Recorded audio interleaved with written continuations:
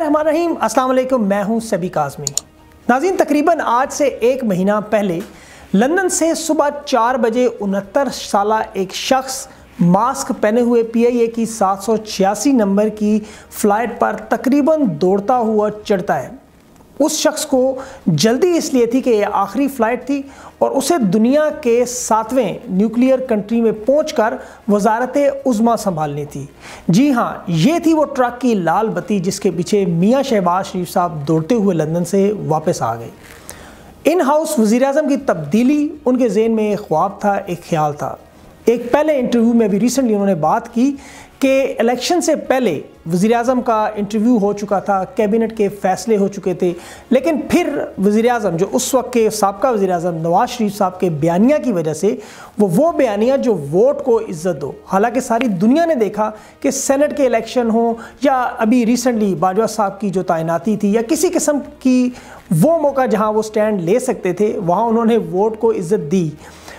अब वो शख्स वापस आए, मीटिंगों का सिलसिला शुरू हो गया। ट्विटर पर एक बहस शुरू होगी। मुल्की सियासत में हलचल शुरू हुई, ख़बरों की जीनत बने और फिर आखिर में उन्होंने मास्क और सैनिटाइज़र कुछ बांटे और ऐलान किया कि मेरी उम्र उनहत्तर साल है और मैं कोरोना से नहीं लड़ सकता। मैं वापस अपने घर में ही बैठूँगा, क्योंकि नैब में उनकी पेशी हुई और फिर सारे सिलसिले बंद हो गए। उससे पहले वो बहुत पुरजोश थे, वो कोरोना को भी ख़त्म करने आए थे, वो मीर शकील रहमान को भी आज़ाद करवाना चाह रहे थे और वो ये सोच रहे थे कि शायद इन हाउस वज़ी अजम की तब्दीली भी होगी और फिर उनके पास उन्हें अगला वज़ी अजम चुना जाएगा। चौधरीों के लिए उनके दिलों में बहुत ज़्यादा नरमी, क्योंकि जब हमजा शहबाज को ऐवान अभी जो रिसेंटली लाया गया उसमें, इजलास में तो चौधरीों ने बड़ा प्रोटोकॉल दिया। अब वो न्यूट्रल मकाम पर मौजूद है कि जहाँ ना दुश्मनी है और ना दोस्ती है।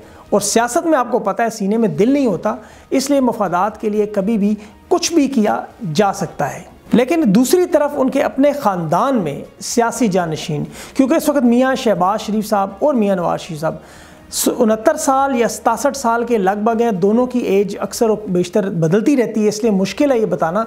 लेकिन अगर हम ये भी फैसला कर लें कि दोनों सत्तर सत्तर साल के हो गए हैं तो उनके सियासी जानशीन कौन होंगे?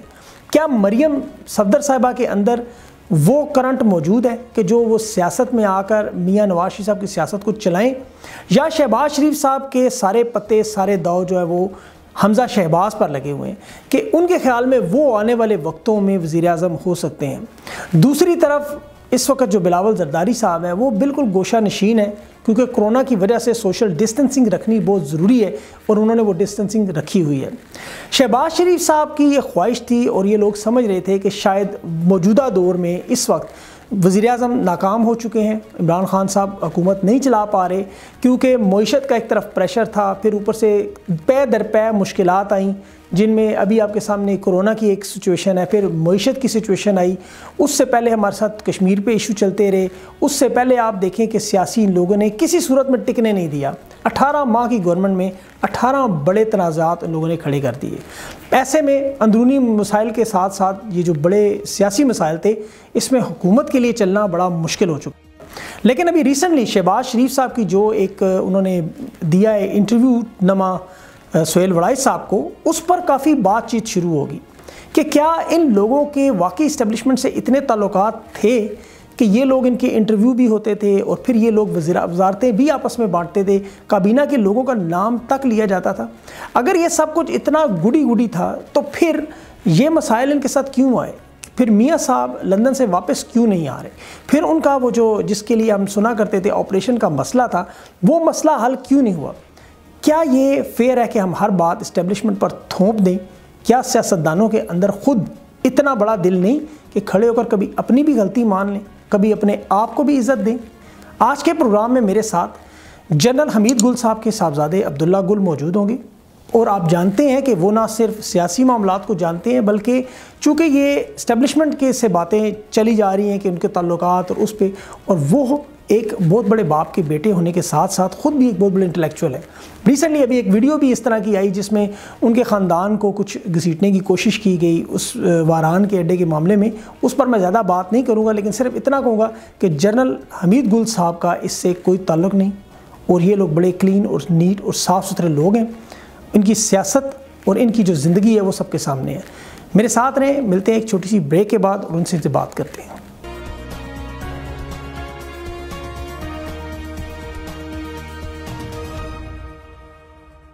अब्दुल्ला भाई शहबाज शरीफ साहब की अभी सुहेल वड़ाइच जो साफ़ी हैं, उनसे एक बात हुई अभी रिसेंटली जिसमें उन्होंने कहा कि उनकी जो इन सिलेक्शन से पहले बात हो चुकी थी वज़ी अजम भी नून लीग का आने वाला था, कैबिनेट के जो वज़रा थे, उनके इंटरव्यूज़ भी आलमोस्ट हो चुके थे, लेकिन फिर वो बयानिया जो नवाज़ शरीफ साहब का था, मेरे ख्याल में शायद वोट को इज़्ज़त दो वाला, उसकी वजह से सारे मामला ख़राब हुए, और फिर अचानक सारी गेम पलट गई। तो क्या वाकई इन लोगों के इस्टेब्लिशमेंट से इतने ताल्लुकात थे या हैं कि ये जब चाहें, जिस तरह चाहें इन हाउस तब्दीली करवा लें, जो चाहें करवा लें, इस पर आपकी क्या राय है? जी देखिए इसमें कोई शक शुबा नहीं है कि ताकत तो होती है और जहाँ तक शहबाज शरीफ साहब ने ये बात कही है तो जो मुख्तर हल्के हैं, उनकी तरफ़ से कोई तरदीद आई नहीं है इसके ऊपर। इसलिए जो है, उनकी बात को जो है, वो वज़न देना चाहिए। और मुझे ये अच्छी तरीके से पता है कि शहबाज शरीफ साहब के बहुत अच्छे मरासम हैं और मुख्तलफ़ हलकों के अंदर और हल्का यारान उनका बहुत बड़ा है। साथ ही साथ यह है कि उन्होंने पंजाब के अंदर बहुत कुछ डिलीवर भी किया है। ये मेरे ख़्याल में उनके जो नाकद हैं वो भी उस बात को तस्लीम करते हैं। उस हिसाब से क्योंकि बार बहुत बड़ी सेट की थी उन्होंने पंजाब के लिए जो शायद अभी मौजूदा उस्मान बुजदार साहब शायद उस अंदाज में उसको मीट नहीं कर पाए। पंजाब मुख्तलिफ़ जो है वो, आपको पता है, झटकों का जो है वो शिकार रहा है जब से ये मौजूदा हुकूमत आई है। और पंजाब जो है वो, उसमें तकरीबन पाकिस्तान की आदि मौजूद है आबादी। और ऐसा बड़ा सूबा जो है, अगर उसके अंदर एडमिनिस्ट्रेटर जो है वो कमज़ोर हो या वो अपने काम से वाकिफ़ ना हो तो फिर बहुत मुश्किल पेश आ सकती हैं। इसलिए पंजाब के अंदर मामला तब्दील हो रहे थे। मौलाना फजल रहमान जब आए थे यहाँ धरने के लिए, तब भी सूरत हाल जो है वो तब्दील होनी थी। लेकिन यह है कि फिर उसके बाद जो ज़ाहिर है मुल्की हालात जिस अंदाज में आ गए, फिर सुप्रीम कोर्ट ने एक आर्मी चीफ़ के हवाले से जो है एक बहुत सख्त जो है इकदाम कर लिया गालिबा 24 नवंबर 2019 को। तो ज़ाहिर है ये वो तमाम अमामिल थे जिसकी वजह से बहुत एक जो सिलसिला जिस तरह से चल रहे थे जिस अंदाज में वो ना चल पाए। और शहबाज शरीफ साहब जो हैं वो यकीनन क्योंकि आपको मालूम ही है कि पंजाब में जब हुकूमत बनी थी तो बहुत कम सीटों का गालिबा 18 या 19 सीटों का मार्जन था। जो कि इतना बड़ा मार्जिन नहीं है कि वहाँ हुकूमत ना बनाई जा सकती बड़े मज़े से बन सकती थी और शायद आज भी बन सकती है। लेकिन आ, मेरे ख्याल है कि अब जो सूरत हाल है उसके अंदर कोई हुकूमत करना नहीं चाहता क्योंकि मुल्क को बहुत माशी बहरान और मुश्किल और दीगर किस्म के मसाइल का शिकार है। कुछ जो है वो ज़ाहिर है हमारे हालात की वजह से है जो दुनिया के हालात तब्दील हुए। कुछ मेरे ख़्याल में हमने एडमिनिस्ट्रेटिव जो मामला थे, वो उस अंदाज में हमने नहीं डील किए। असद उमर साहब ने इकॉनमी के लिए जो है वो कोई ख़ास कार जो है वो अंजाम नहीं दिया। और ये बात मैं नहीं कर रहा। अगर असद उमर साहब जो है अच्छा किरदार अदा कर रहे होते तो आज भी वो वज़ी ख़जाना ही होते। लेकिन फिर मसला ये है कि आखिर उनको एक वजारत ख़जाना से जो है फिर हटाया गया था ना, पहले से बुकदोश किया गया था। तो ये सारी बातें हैं जिनको हमें सोचना पड़ता है और देखना पड़ता है कि क्या हालात हैं, क्या नहीं हैं। तो उस हवाले से शहबाज शरीफ साहब जो है मेरे ख्याल में उनका एक जो बात है, उसमें काफ़ी वज़न है। अच्छा अब्दुल्ला भाई डीजीआईएसआई प्रेसिडेंट और प्राइम मिनिस्टर, कल तीनों की मुलाकात हुई, उसके बाद फिर स्टेटमेंट भी आई। आपको पता है, इक्कीस महीने हुए, तकरीबन शायद मुलाकात नहीं हुई इनकी आपस में, इतने बड़े लेवल पर जब मुलाकात हो, उसकी फिर थोड़ी एडवर्टीज़मेंट भी हो दूसरी तरफ़ शहबाज शरीफ साहब के अगर बयान की रोशनी में जो उन्होंने सुहेल वड़ाइज को दिया, कालम में इन्होंने बात की, देखा जाए तो इस मुलाकात को आप कैसे देखते हैं? आप तो जानते हैं इन मामला को बहुत करीब से। देखिए, मैं इस मुलाकात को बहुत अहम देखता हूँ और डी जी आई एस आई साहब जो है, वो उनकी जिम्मेदारियों में है कि वो सदर और वज़ीर आज़म से मिलते रहें। लेकिन एक ऐसी मुलाकात जिसके अंदर क्या ज़रूरत आम पड़ी कि उसको जो है वो पब्लिक किया जाए और उसकी खबर लगवाई जाए। ये एक अहमियत की बात है। बात ये अहमियत नहीं है कि वहाँ क्या बात हुई, क्या नहीं हुई, ये तो वही जानते हैं जिन्होंने बात की होगी लेकिन उसकी खबर क्यों लगाई गई? इसका मतलब है कि कोई मैसेज जो है वो देना मकसूद है। और वो मैसेज क्या है? ज़ाहिर है सदर जो है, क्योंकि वो टेक्निकली आर्म्ड फोर्सेस के जो है commander in chief supreme commander कहलाते हैं। और जो प्राइम मिनिस्टर हैं वो चीफ एग्जेक्टिव होते हैं मुल्क के।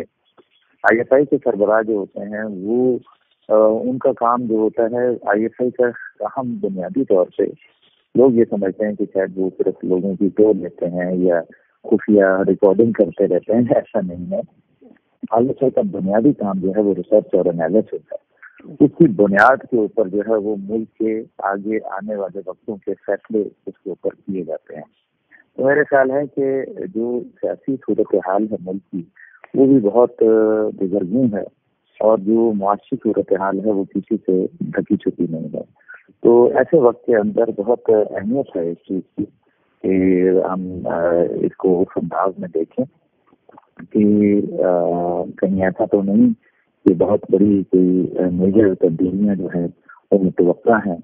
और कोई ऐसी नेशनल गवर्नमेंट जो है उसकी तरफ़ से बात नहीं जा रही क्योंकि ये एन मुमकिन है क्योंकि पाकिस्तान के इस टाइम पे जो चैलेंजेस हैं वो किसी एक पार्टी जो है वो इस काबिल नहीं हो सकती मुकम्मल नहीं हो सकती कि वो उन चैलेंजेस का जो है वो आ, मुकाबला अकेले कर सके। खास तौर पे जो पीटीआई की सूरत हाल है उसमें तो इसलिए भी मुमकिन नहीं है क्योंकि पीटीआई की जो अगर कोलेशन ना हो तो कोलेशन के बगैर तो वो हुकूमत भी फॉर्म नहीं कर सकते।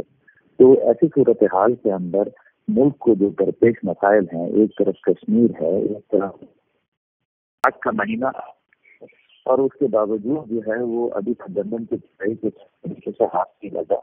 तो मकसद यह है कि ऐसे सूरत हाल के अंदर जो एडमिनिस्ट्रेटिव इशूज हैं और दीगर मामला हैं तो मेरे ख्याल ऐसी कोई हुई होगी जिसके अंदर ये कहा कि आप असाम तस्लीम का रास्ता इख्तियार करके शरकत इकतदार का अपनाएँ अच्छा अब्दुल्ला भाई फिर इस सूरत हाल में क्या नई सियासी सफबंदियाँ हो रही हैं? कि चौधरी बरदरान और नवाज़ शरीफ साहब की जो पार्टी है उनकी कुर्बतें बढ़ रही हैं? इनके सियासी जानशीन ये मतलब इस सारी सूरत हाल में क्या हो सकता है फिर ये? शहबाज शरीफ साहब हैं या दीगर लोग हैं वो सब सियासत के खिलाड़ी हैं। और ज़ाहिर है सियासतदान जो होता है वो कभी भी खामोश नहीं बैठता। वो हमेशा कुछ न कुछ जद्दोजहद के अंदर मसरूफ रहता है और सियासतदान का मकसद ही यही होता है कि वो इकतदार में आए। तो यकीन चाहे चौधरी बरदरान हो या दीगर हो रबते तो सबसे ही होते हैं। अच्छा अब्दुल्ला भाई, अगर देखा जाए मुल्की सियासत में इस वक्त आसिफ अली जरदारी साहब तो बहुत बीमार है शायद। इसी तरह मियाँ नवाज़ साहब भी बीमार भी हैं, सत्तर साल उम्र हो गई है, शहबाज शरीफ साहब की भी तकरीबन यही हालत है। तो ऐसी सूरत हाल में जो नौजवान क्यादत है, आपको क्या लगता है कि इनका जानशीन क्या हमजा शहबाज शरीफ बनेंगे या मरियम सफदर नवाज़? देखिए, जहाँ तक से ताल्लुक है, फ़िलहाल मेरे ख्याल में शहबाज शरीफ साहब ही पाकिस्तान भेजे गए हैं और शहबाज शरीफ साहब को ही मेरे ख्याल में जो हमारे रियासती इदारे हैं, उनके साथ एक, फिर भी एक मेरे ख्याल है कि रवाबित के मरासम मौजूद हैं। अगर देखा जाए तो वो सीज़न भी हैं उन्होंने जो है एक वसी तजुर्बा है, उनका एडमिनिस्ट्रेशन में पंजाब को देखा। और अभी फ़िलहाल वो यही नज़र आ रहा है कि पार्टी को वो लीड कर रहे हैं। ऐसी सूरत हाल में मरियम नवाज़ शरीफ साहिबा का शुरू में आया था, बहुत ज़्यादा था। लेकिन जब तक नवाज़ शरीफ साहब दोबारा मैदान में आए हैं, मेरे ख्याल में के या हम है, आगे बढ़ने के वो कमज़ोर है।